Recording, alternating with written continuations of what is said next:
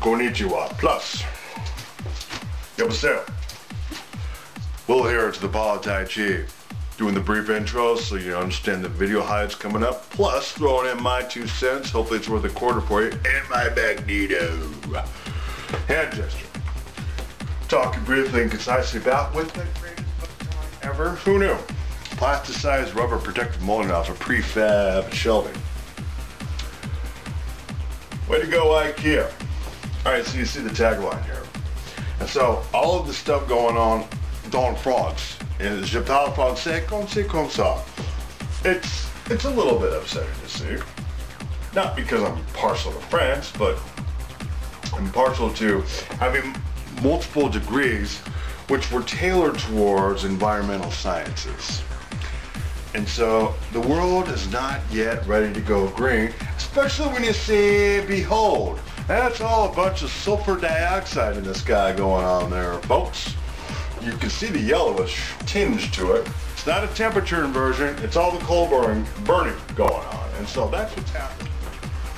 All right, so you see the tagline here, or rather the title and the credentials, and rather the credentials. Marc with a C, Morano, or is it Morano? No, Morano. ClimateDepot.com founder. And so he's talking sense. Look, I, I, I, studied all this stuff in the 90s when all the doomsayers first started coming out. And he's talking sense vis-a-vis the UN. Right? And this UN, I, I think the globalist concept, even the connotations of globalist, connotations, connotation of globalist, all starts with the UN. I mean, the UN is definitely a feckless organization. It's just that there are so many more nations involved and so much more money involved that it still sticks around as opposed to its predecessor, the League of Nations, which was dissolved, which is just as feckless, maybe not as much as feckless. I'm just saying, and this is a Poly Sports rant. So you'll hear some like good talking points. It's like the UN's there in New York and the USA. Uh, a lot of are tax dollars going into that. We have to hear about all this nonsense. And then in closing, I'll hate this guy because he's on uh, Stu Varney lately. 6, 0600 in the morning Pacific time, 0900 for you on the East Coast. You should. It's three hours. It's a lot to try to fast forward through speed watch, as it were, as opposed to speed reading. But the great Stu Varney, I backed him up, got a hashtag started on his behalf. This guy right here, what he's at right now, Cal, I'm talking about Big Brother in the form of you will be shocked. I keep warning you all, Amazon and Facebook are evil, even more so than Walmart.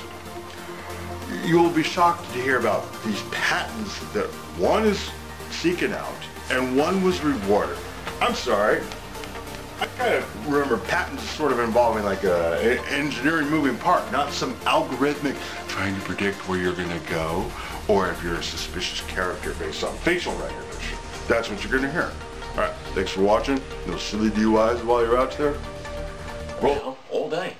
Back to my editorial, top of the hour. My statement is, voters are not willing to pay to fix climate change.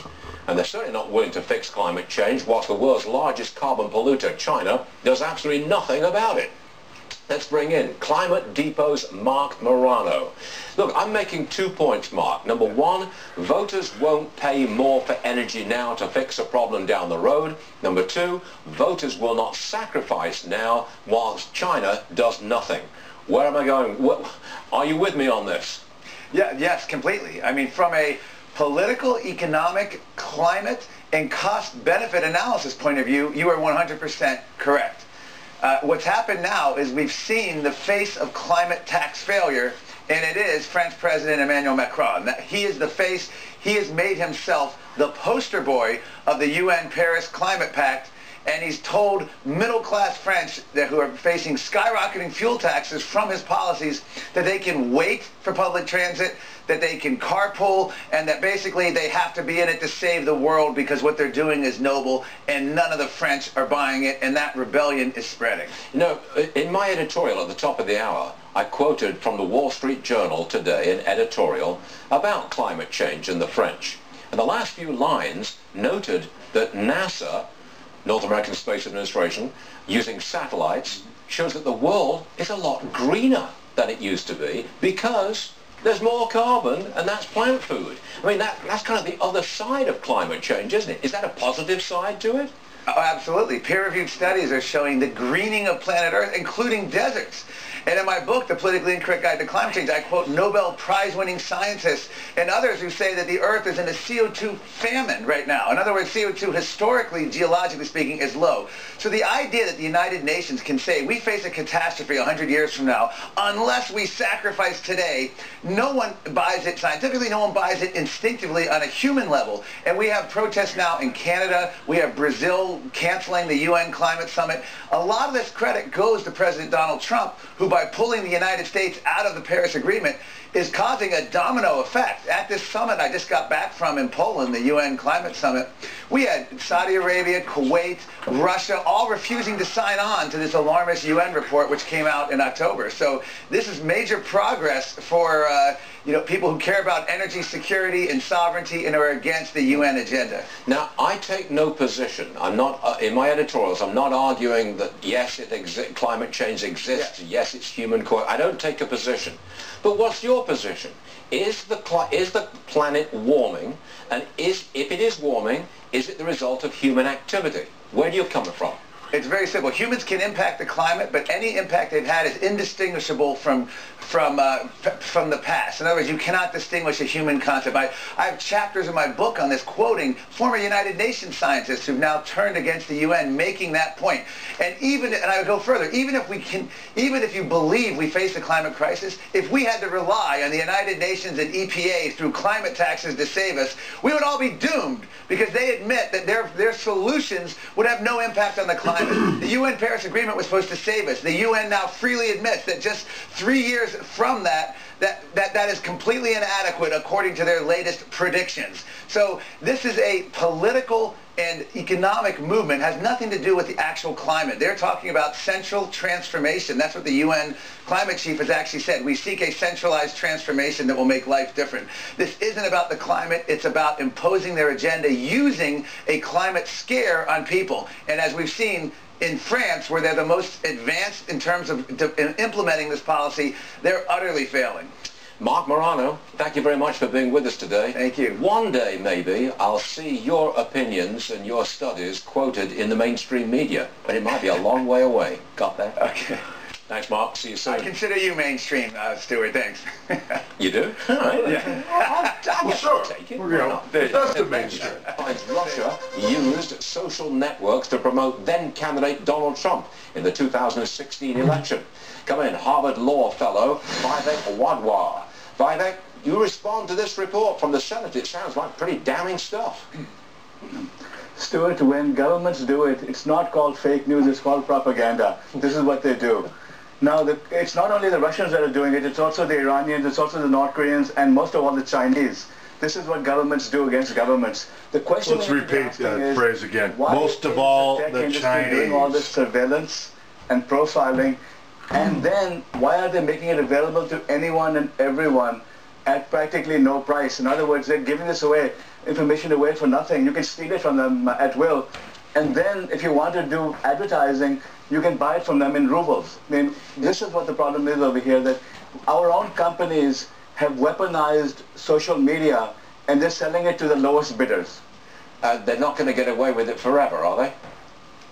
Well, I hope not, and this is why it's good that the Senate is looking at this, that government has become aware, that we have become aware, because this has been happening for many years without our being aware of it. It just happened that um, it was used by the Russians in the elections as well as everyone else, and now uh, they got caught. So something has to be done about it for sure. And I, I just have this feeling of Big Brother, and I've said this many times on this program, and I think you're in agreement with me, Vivek, but I've got two items which I would describe as Big Brother-ish. One, a new patent shows Amazon maybe trying to create a database of suspicious persons using facial recognition. That's a big problem for me. Number two, It is a. Facebook's got and, a patent. and what's more, looking, hold on a Amazon be Facebook's looking for a to anyone who wants to buy it from them. Facebook is Scary. looking for a patent that can predict your destination before you get there. I mean, these are two items that are just stink of Big Brother, right? I completely, completely agree with you, my friend. This is terrifying. This is a dark side of technology, and there are no checks and balances on these companies. It's all about money, money, money to them. So they'll sell their souls in return for some money. It's but how do you very stop worrisome. this? I mean, how do you stop this? Once you've got facial recognition technology, how do you stop a company from recognizing every person in the world, knowing exactly who they are, and identifying them as they walk down the street or they communicate with anybody else? What do you do about that? Stuart, regulations are generally bad, but regulations also needed in, in, in things like this. We need to basically tell these companies that they're not allowed to, to, to capture our information and store it. And if they do uh, store it and it gets stolen, they're going to pay heavy penalties for this. That they're going to, it's going to cost them billions of dollars.